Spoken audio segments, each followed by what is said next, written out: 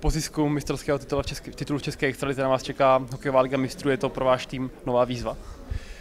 No tak eh, výzva je takový silný slovo, je to ale je to mm, jakoby nový srovnání a je to soutěž, do které se chceme začlenit, kterou eh, samozřejmě bychom rádi hráli každý rok.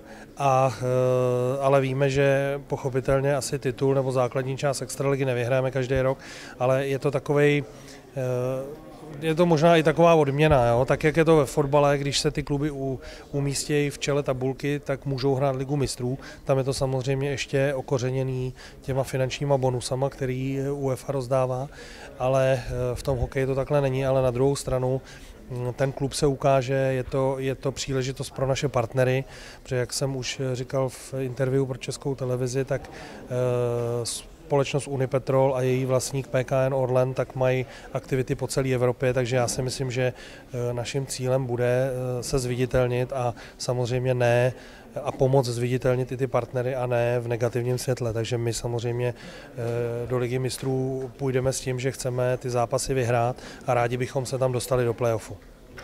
Letos napíše Liga mistrů už svůj druhý ročník, sledoval jste třeba po očku, i když jste loni nehráli Ligu mistrů soutěž vlastně loni? No sledoval jsem to, eh, samozřejmě žádný zápas jsem neviděl na vlastní oči, pouze, pouze eh, Spartu s Linköpingem, kde ten hokej se mi teda líbil, ale to, to musím říct, že všichni říkají, že to byl teda mm, jako hokej, který se běžně v těch zápasech úplně nehrál.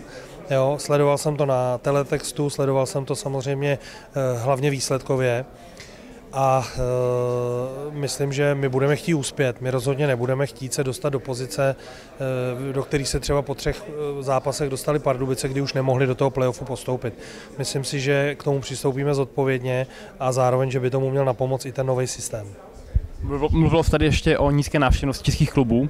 Myslíte, že v Litvínově by tohle nemusel být ten problém nebo ten případ?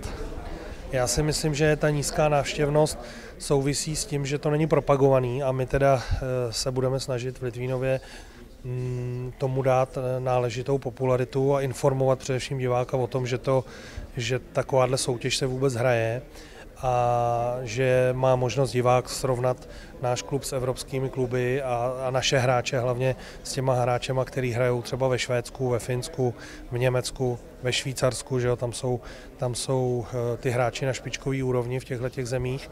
A myslím si, že mm, jako taková zajímavost eh, pro toho našeho diváka eh, to může být a budeme se snažit jednak mu to nabídnout a jednak asi si myslím eh, i vstupný udělat na takový rozumný bázi, aby ty diváci přišli. Draft bude tady za dva týdny se odehraje v Praze. Už jste třeba přemýšlel, který tým byste proti kterému byste rád nastoupil, nebo ještě na to nebyly myšlenky? Ne, to jsem ještě nepřemýšlel, na to jsem ještě myšlenky neměl, ale určitě bych rád, abychom e, nastoupili proti některému švýcarskému týmu.